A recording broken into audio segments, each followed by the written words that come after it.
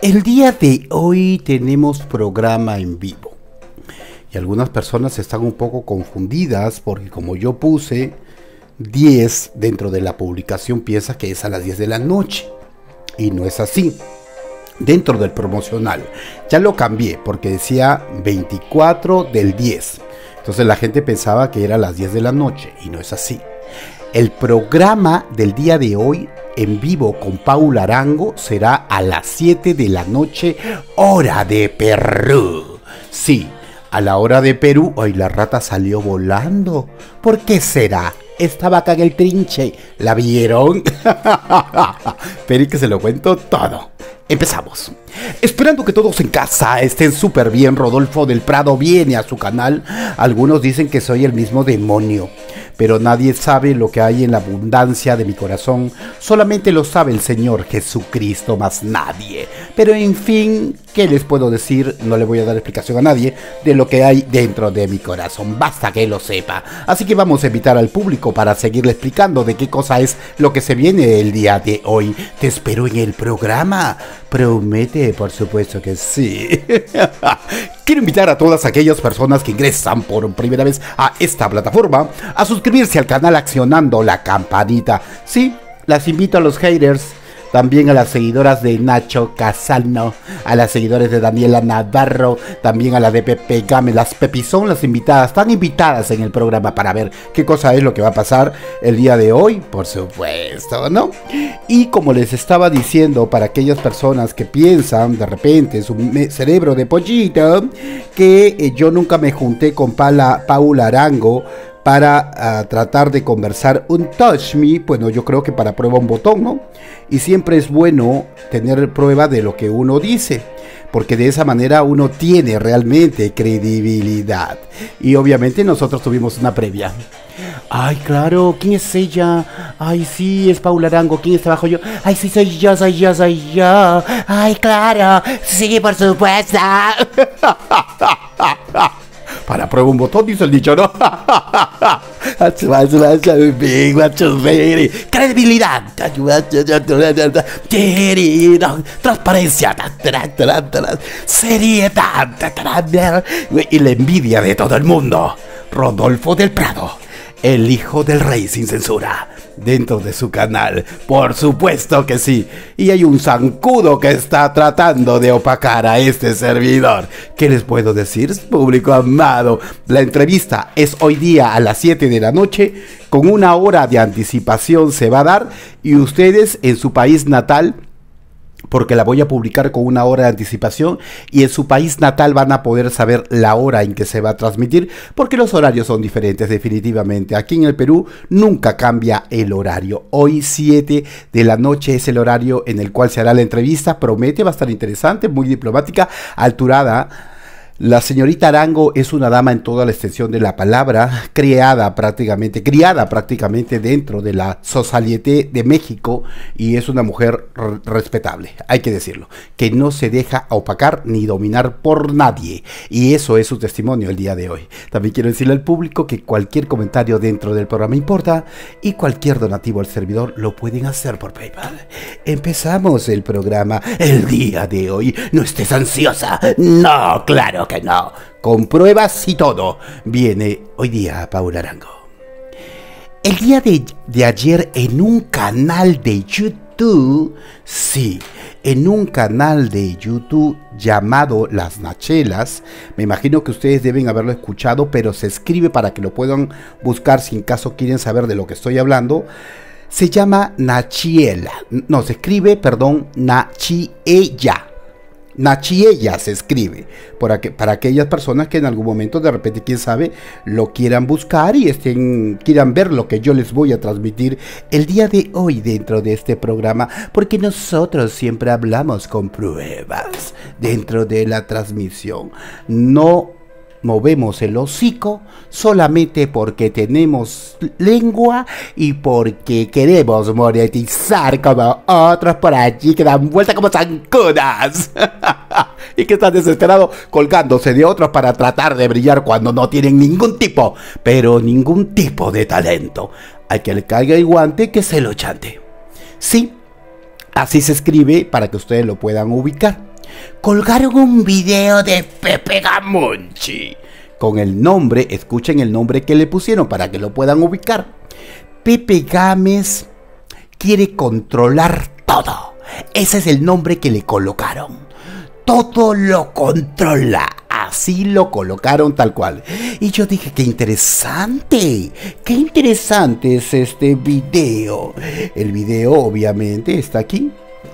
Allí lo pueden ver. Claro que sí, me lo mandó mi bella rachula, la más chula del medio, que termina estando en todas. Tal cual. oh my god. Entonces, obviamente, si es el autor del video, dentro de ese programa que por cierto, ya lo grabé por si lo quieren borrar, ya está bien grabado aquí dentro del canal, él comienza a comentar una serie de cosas. Y como dice el título, ¿no? Él quiere controlar todo por las cuales nosotros ya nos hemos dado cuenta viendo a Madison Anderson, que está siendo controlada por este narcisista, donde la vemos prácticamente sin personalidad, y es porque él la controla. Así, por la boca o por el hocico, muere el pez. Por eso la escogió. Claro que sí porque sabía que la podía controlar, porque sabía que podía hacer con ella lo que se le dé la gana. Y obviamente nosotros ya lo vemos el día a día conforme ha ido pasando el tiempo. Pero en el caso de Paula Arango, que es la protagonista del programa del día de hoy, una mujer totalmente empoderada, según el testimonio que ella relata, que lo tengo obviamente dentro de este canal, porque yo ya lo tengo pregrabado, la pre-entrevista que tuve con ella, yo la tengo grabada, pero esta es en vivo y es muy diferente. Por eso le dije a todo el mundo, venga, no pueda, lo que sea, yo igual se las voy a presentar ahí. Ahí tienen la foto, ya la vieron, obviamente, porque así trabaja Rodolfo del Prado, cuando obviamente tiene que armar una pauta para hacer las preguntas, hace una preentrevista y después analiza todo, se sienta y después comienza a hacer las preguntas para que no se me pase absolutamente nada, ¿no? Así lo hacen todos los periodistas, yo soy un aquí un comunicador y soy muy profesional en las cosas que yo hago y así realmente siempre tiene que ser. Entonces, a Paula Arango no la pudo controlar. Paula, Paula Arango es una mujer indomable. Paula Arango termina siendo una mujer empoderada dentro de la historia y no una bobolonga. Y no se deja y no se mancilla y quiere decirle al mundo su testimonio el día de hoy a raíz de una desgracia. Con prueba en mano, hoy día a las 7 de la noche, hora de Perú. Y obviamente, como va a estar promocionado una hora antes, tú ya sabes en tu país a qué hora se transmitirá el programa. En el video de las Nachelas se escucha al narcisista que dice lo siguiente y quiero que presten en esta parte del programa muchísima atención. ¿Qué cosa es lo que dice el narcisista? Dice lo siguiente, Aquí se los voy a leer para que lo puedan entender y después transmitiremos el audio. Dice, lo que lo ha detenido en la vida, escuchen, ¿ah? escuchen para que vean la gravedad del asunto. Lo que lo ha detenido en la vida son los problemas que él tiene en el cerebro. Cuando ustedes ven el video, él dice que lo que lo ha detenido en la vida son los problemas que tiene allá adentro los problemas que tiene en el cerebro, problemas que nosotros hemos descubierto a raíz de un análisis que he hecho dentro de este programa con una profesional seca que obviamente no es el paciente de ella, sino que ella nos ha dado los rasgos de los psicópatas, de los narcisistas entre otras cosas más dentro de la vida y nosotros a raíz de lo que él muestra podemos tener un, claro relato de quién demonios es. Ese análisis lo he hecho yo dentro del programa a raíz de, lo de las características que nos ha contado la, la, mm, eh, psicóloga Isiseja. Es, no es paciente de él y como no es paciente de él, obviamente ella no lo puede evaluar, pero sí nos puede dar los rasgos y nosotros podemos sacar conclusiones. Y como yo soy un comunicador así bien pícaro y tremendo, obviamente saco mis conclusiones a raíz de lo que yo estoy mirando. Entonces yo creo que él tiene, y esa es mi opinión personal, problema de narcisismo. Entonces, dice lo siguiente, que el problema de él, dice, lo, a ver, el problema, dice que él ha tenido en la vida, son problemas que tiene en el cerebro problemas que dice que todos tenemos problemas. Obviamente todos tenemos problemas, pero los problemas de él son más graves. ¡Ay! Sorry, excuse me. Dios mío, está reconociendo que tiene algún tipo de patrón, enfermedad o lo que sea, o trastorno múltiple de la personalidad. ¡Ay, hello! Tenemos que evaluarte seriamente. Ay, Dios santo, cría cuervos. Así dice, y te sacarán los ojos que le harás a tu padre y a tu madre. Ay, no sabemos. Pero si ya vemos lo que le has hecho a Madison, podemos especular cualquier cosa dentro del programa. Dice él que los problemas que él se crea, dice que nunca llegan a ser una realidad. Sí, dice que nunca se hacen realidad, pero viven dentro de su cerebro. ¿Ustedes pueden creer eso? O sea, una persona que en vez de pensar positivamente en el futuro, qué es lo que va a hacer, qué es lo que va a lograr en su vida, está pensando cosas negativas que le va a pasar, adelantándose a algo que supuestamente nunca, quién sabe, suceda. Se supone que la gran mayoría de personas que realmente son sanas y que son cuerdas, están pensando en el futuro, en poder sobresalir, en ver qué va a hacer y cómo cuántos hijos va a tener, entre otras cosas más. Pero este está pensando prácticamente al revés. y se está trastornando de problemas que no existen. Y él mismo dice que sabe y nunca se hace realidad. Es lo que él dice. y lo vamos a escuchar en audio.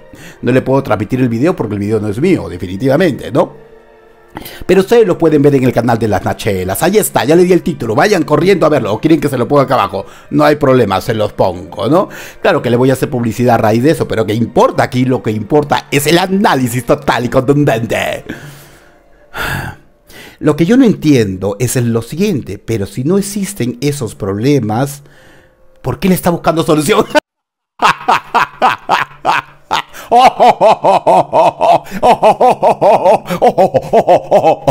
Ya ven que no, estaba equivocado. si no existen los problemas, uno no tiene que buscarle solución. A mí me enseñaron lo siguiente. Un día estaba, era muy pequeño, bien jovencito, y mi mamá viene y me dice, ¿qué tienes? Estoy preocupado. ¿Por qué? Porque tengo problemas. ¿Y tiene solución? Sí, sí tiene solución. Entonces, ¿por qué te preocupas? y si no tiene solución, igual, ¿por qué te preocupas si no tiene solución? Entonces, ahí yo aprendí. ¿Ya ves cómo los padres deben enseñarle a los hijos lo que yo estoy diciendo aquí? Claro, pues querido, pero parece que tus padres no te enseñaron, parece que te trastornaron y por eso estás así. Este está más grave de lo que yo me imaginaba a raíz de sus propias palabras, ¿ah? porque el programa lo estamos haciendo a raíz de lo que él dice. ¡Ay, qué pena. Pero en la realidad, dice que eso no lo deja estar tranquilo. Pero si no existen los problemas, entonces hay que disfrutar de la vida, querida. Pero con tu plata, ¿ok? No con plata ajena. Hoy día se pone interesante la entrevista. Él reconoce que quiere tener el control de todo dentro de lo que vamos a escuchar ahorita. Una persona normal no está pensando lo que él está pensando. Eso no es normal. Una persona vive feliz, tiene sueños en el futuro y trabaja por ello. Y no vive prácticamente del pasado. Le pregunto al público, ¿no? Porque de repente, quién sabe, yo estoy equivocado. Aunque yo nunca me equivoco normalmente porque soy el hijo del rey. Pero en el caso de él, por ejemplo, acabamos de escuchar ahorita. Me encanta este video. ¿Para qué lo cuelga el chica de las chelas? Porque lo colgaron, le están haciendo un daño. o porque lo hizo él, el daño se lo está haciendo él solo. Lo único que están haciendo ellas solamente es trabajar. Más nada. Dentro del video escuchamos que dice que su padre lo regaña, lo regaña. Según él, su padre lo regaña por lo que él piensa. Pero el padre es el culpable de lo que él es, porque él lo crió. Así como mi padre es culpable y mi madre de lo que yo soy. Por supuesto, un hijo que se atreve a decir las cosas que otros callan. Y su padre tiene parte de culpa de lo que él es. Vamos a parar la música porque vamos a escuchar el audio. Claro, no es la inteligencia artificial, ¿ah? Hello. No, no, no, no, no, no. Es él, nada más. Vayan al programa de Nachelas. No hace falta que le eche la culpa a la inteligencia artificial. no es perfecta la inteligencia artificial. Pero en fin. Quiero compartir que analizando lo que ha sucedido en los pensando en qué es lo que más me ha detenido en los últimos tres o cuatro años y en este momento es los problemas que tengo aquí. Problemas que todos tenemos, simplemente que los niños van un poquito más allá. Son problemas que no han llegado, son problemas que todavía no tengo, son problemas que el 99.9% del tiempo nunca se presentan y nunca llegan, pero viven aquí uno, dos, tres días, semanas, incluso meses, a veces hasta sueño con ellos. Y todo el tiempo los traigo en mi cabeza y estoy con esta manera de pensando cómo lo voy a atacar cuando se presente, de qué manera lo voy a solucionar, a quién le voy a marcar, cómo lo voy a arreglar. Y me ha drenado la energía, me ha quitado la paz, no me deja estar tranquilo el día a día de mi vida conmigo mismo, no me deja disfrutar los momentos Pero si no buenos, existen esos malos. problemas. Y esta situación no solo me ocurre en los malos Y momentos, nunca me ocurre también cuando estoy bien con mi persona, cuando estoy bien con mi trabajo, cuando estoy bien con mi familia, todo el tiempo estoy viendo a mi alrededor y pensando qué cosa negativa me va a llegar y de qué manera la voy a solucionar. Y ha sido algo que es un debatir y un pensar en decir, no, está, está bien que, que- piense porque soy precavido, es bueno ser prevenido, pero este es un exceso de querer tener control sobre Una cosa es ser precavido y prevenido y una cosa es estar enfermo. Y una cosa es querer tener el control de algo, de todo. Y comenzar a pensar en cosas que no existen y que nunca se darán. ¿Escucharon? Todas las cosas, algo que no, pode- no podemos permitirnos, porque nos va a robar el sueño, nos va a quitar la energía y sobre todo te va a impedir estar atrayendo las cosas positivas, estar abierto a recibir nuevas cosas, nuevos proyectos, nuevas ideas, porque todo el tiempo estamos ocupando la mente para ver cómo vamos a solucionar lo que aún no ha llegado, lo que todos dicen estar viviendo en el futuro o estar viviendo en el pasado y no estar disfrutando el presente. Es algo que me han recomendado muchísimo ir al yoga, me han recomendado muchísimo ir a meditar. Mira, yo te voy a recomendar una cosa. Tú no necesitas yoga, ni meditar, ni nada. De acuerdo a todo lo que ha dicho, tú necesitas un psiquiatra, tú necesitas un loquero. Tú necesitas ir al psicólogo. Bueno, el psicólogo es más algo más, más simple. ¿no? El psiquiatra necesitas. No necesitas meditar, querido. Tú tienes las respuestas ahí, tú mismo te las estás diciendo. Pero eres tan trastornado que estás grabando esto. ¡Qué horror! Mira cómo te destruyes a ti mismo, rey. Recomendado tener más confianza en Dios y no importa lo que trates, es algo que mientras no estés consciente de eso, no vas a poder encontrar la solución. La última cosa que más me ayudó fue una plática que tuve con alguien que quiero mucho, que respeto mucho, que es mi papá, que me dice, a ver, dime una cosa, ese problema que tienes en tu cabeza todo el tiempo y que te está quitando el sueño, ¿qué pasa si se presenta realmente? Le digo, pues me voy a enojar mucho. ¿Cuánto tiempo? Pues no sé, tres semanas, un mes. Ok, ¿y luego qué va a pasar? No, pues, pues nada, ya. ¿Y conoces a alguien que le haya pasado ese problema? Le digo, sí. ¿Y qué le pasó? ¿Está vivo o está muerto? Le digo, no, pues está vivo y sigue, sigue bien, sigue trabajando, sigue con su vida, sigue con su familia. Déjalo ir. Una vez que logré aceptar las consecuencias de lo peor que puede suceder, medio me liberé. Eso es lo que actualmente Medio me se ha funcionado. liberó. Si alguno de ustedes tiene alguna solución, está pasando sobre este mismo problema o tiene estos Problema. mismos problemas imaginarios que nos creamos en nuestra propia mente y acarreamos día a día y nos impiden estar al 100% felices o al 100% presentes, dígame de qué manera, porque creo que en las redes sociales hoy en día podemos retroalimentarnos, podemos aprender los unos de los otros. Así que bueno, es algo que estamos conscientes de ello, es algo que ahora vamos a empezar a ver cómo lo reajustamos, de qué manera podemos, pues ahora sí como dicen, déjalo ir, haz todo lo que puedas. Es muy bueno Claro. ser precavido, es muy bueno ser preventivo, pero nunca querer controlar lo que no podemos controlar. No puedes Entonces, controlar. pues ahí se los dejo. Arre pues. Ahí coméntame y bendiciones. nunca puede controlar lo que no debemos controlar. O sea, él da un consejo y no lo aplica en su vida. Sí, no lo aplica en su vida porque nosotros vemos cómo ha controlado a Madison Anderson. Mejor cállate el hocico y muérdete la lengua. Yo creo que es lo que deberías de hacer. ¿Ya ven? Siempre tengo la razón.